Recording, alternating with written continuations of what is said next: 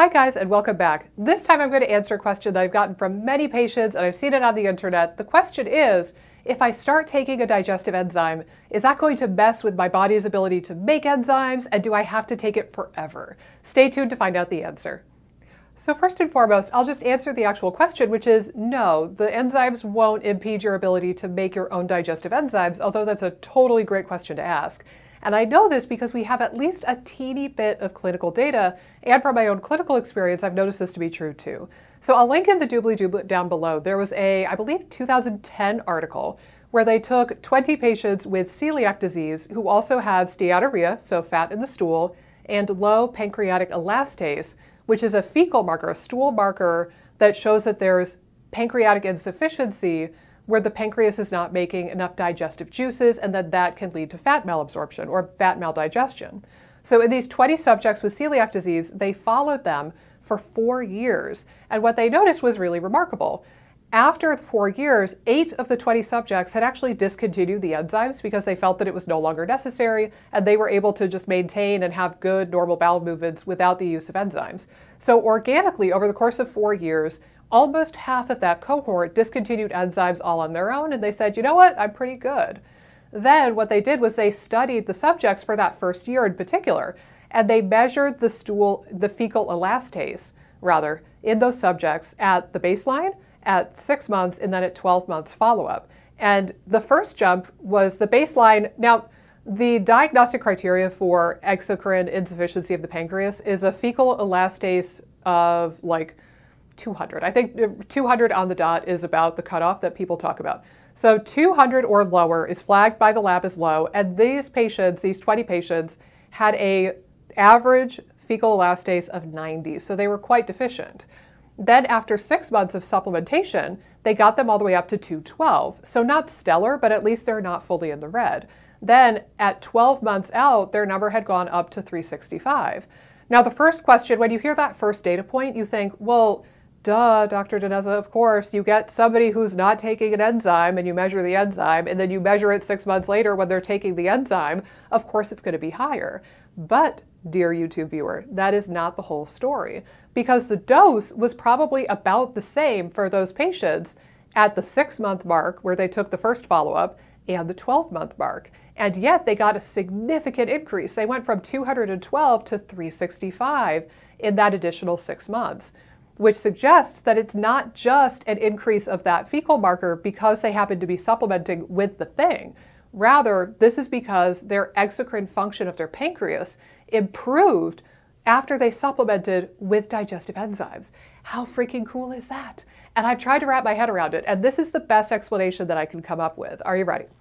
So, here we have a very beautiful pancreas. You all know my artwork by now. And then here's just the intestines. So as we all know, the pancreas dumps its juices into the first part of the small intestine called the duodenum, or duodenum, depending where you heard the word first. I learned it two ways, in undergrad and grad school. Side note. So anyway, so the stomach acid will acidify the contents or the bolus of food, and then that gets squirted into the first part of the duodenum. And then the pancreas gets the memo as well as the gallbladder, and they go, whoa, acidic stuff. We need to squirt out our juices to neutralize that pH.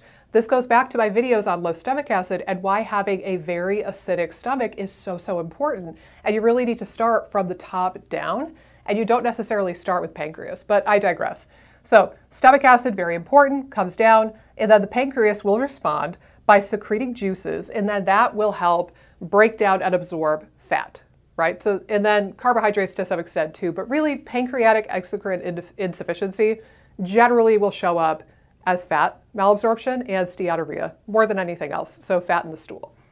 But if you think about it, if you have hardly anything coming out of the pancreas, so here's like wind coming out of the pancreas, if you don't have enough juices coming out of the pancreas, what's going to happen? You're going to have malabsorption and maldigestion. You're not going to break down and absorb your nutrients, your protein, your fat, your carbohydrates. You're not going to absorb fat soluble nutrients like vitamin A, vitamin D, vitamin K, and vitamin E, and your omega 3s. You're not going to get that fat balance and those fat soluble vitamins, as well as some others. There's other like minerals and other nutrients that need these digestive juices to really function and get absorbed. So you're going to have malabsorption and maldigestion, and then that, this is the key, is inherently pro inflammatory.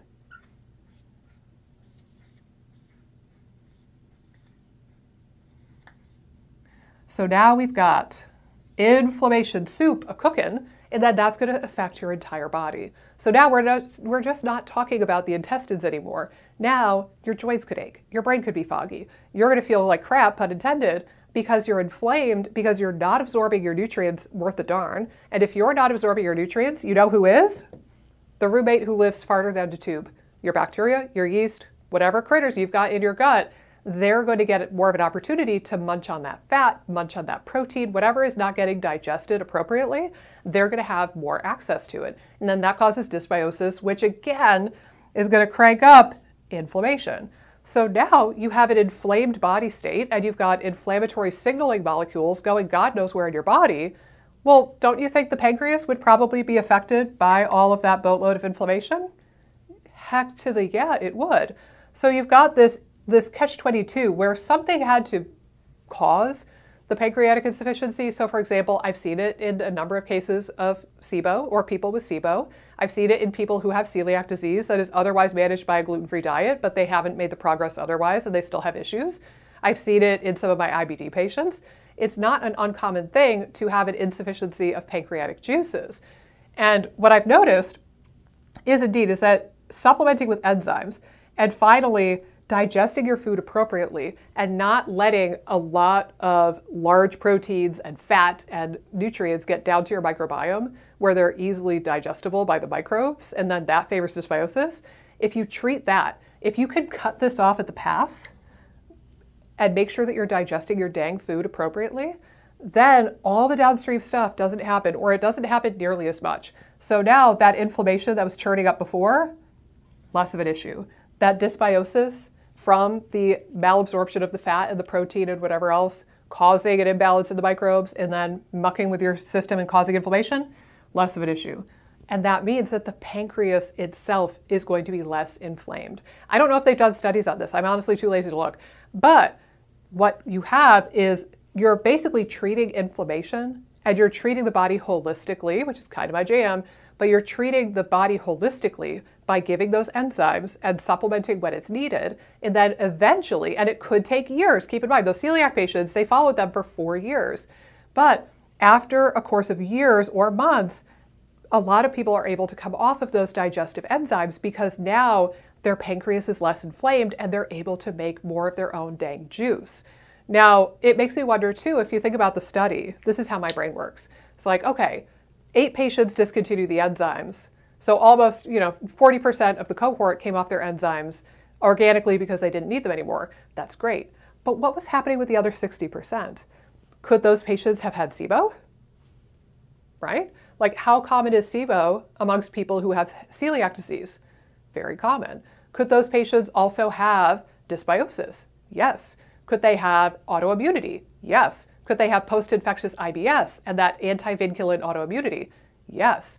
So it makes me think it's really compelling that 40% of people in that study came off of their enzymes because they were no longer needed. And it's very encouraging that people's enzyme numbers were coming up in the stool samples, at least for the first year that they followed them. But it makes me think I wonder if those patients were treated holistically and other things were treated appropriately. I wonder if all 20 of the subjects could have gotten off their digestive enzymes and nobody would have needed them anymore. We'll never know. But that is my shtick. So don't really worry so much about the enzymes being a forever thing. Point blank, if you need them right now, you need them right now. And then you worry about getting off of them a little bit later.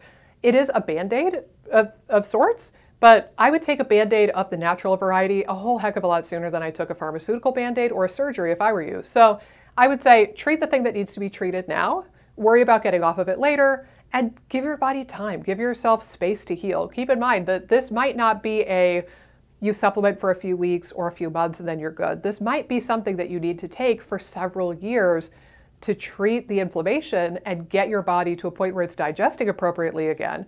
And just have faith that your body is going to rebound and that your pancreas is capable of making those juices if you just take off that inflammatory load.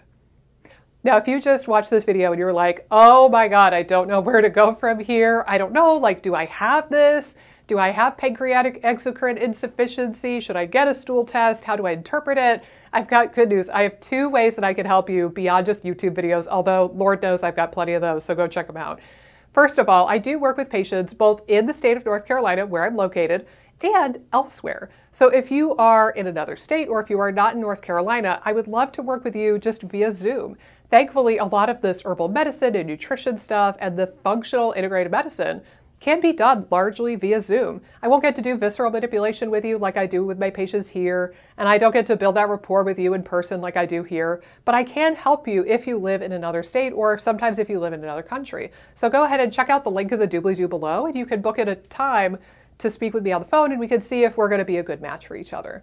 The other thing is that I have an online course, FODMAP Freedom in 90 Days. Now, this might not be as applicable to you depending on why you're watching this video, but certainly if you have this dysbiosis, IBS, SIBO picture and you worry about your motility, that could all fold into this because really FODMAP Freedom is a SIBO and IBS self-treatment roadmap of sorts. And that is going to be really, really helpful for people with those diagnoses and quite possibly if you have celiac disease, because like I said, a lot of people with celiac disease have had SIBO or had SIBO.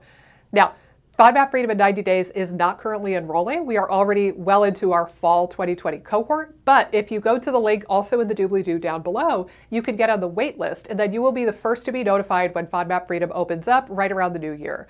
And you'll be the first to know so that you can register on day one and get the special bonus. I always do a special bonus on day one for people who are really committed and make that decision on day one. So don't miss that email. Make sure that you get emails from me. And I would love to see you either in Zoom or FODMAP Freedom in 90 days sometime really soon. This is either going to be amazing and hilarious or the most awkward thing I've ever done.